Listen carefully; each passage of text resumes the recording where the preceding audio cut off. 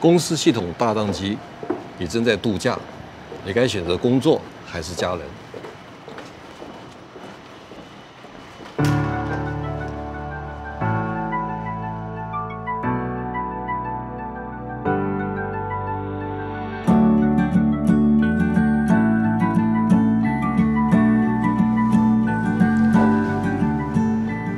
刚刚问你的问题，不知道你有没有答案？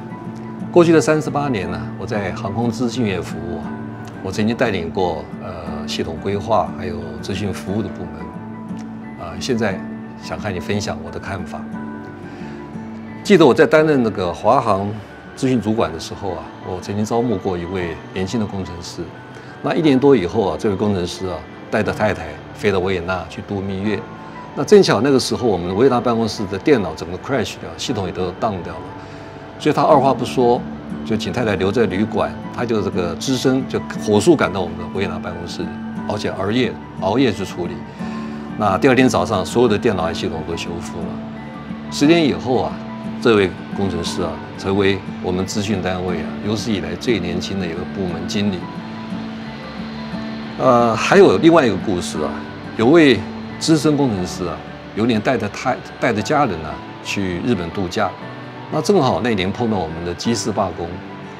啊，他接到通知必须赶回来处理这个资讯事宜，所以他二他也是很快就搭下一班的班机啊，就赶回我们总公司去处理了。那我们姑且不论呢，那个罢工事件是资方有理还是劳方有理的。不过我们站在乘客角度立场去看的话，呃，如果说那个时候连资讯部门也在闹空城计的话，那我所谓的飞航安全呢？是不会跟着出大问题的。当我们公司啊，它的营运跟那个顾客的生命安全呢有相关联性的时候啊，那我们身为这个公司系统的一个负责的掌门人的一个资讯工程师啊，他责无旁贷，必须二十四小时、三百六十五天了，全天候 stand by。所以，我们在这个行业里头啊，你如果想做到工作和这个家庭呢，达到完全平衡呢，这是不切实际的想法，几乎是做不到的。我个人认为啊，工作和家庭呢，两者的关系啊，我们可以采取这个动态的，也就是 dynamic 的方式去调整。好，当然，我认为这一切啊，还是要回归到你自己的初衷和选择。所以，不论你做任何的选择，活在那个当下那个 moment，你能够很专心的、很开心的投入啊，那就是成功，就是圆满。OK，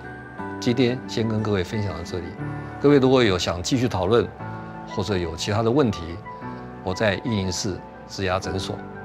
拜拜。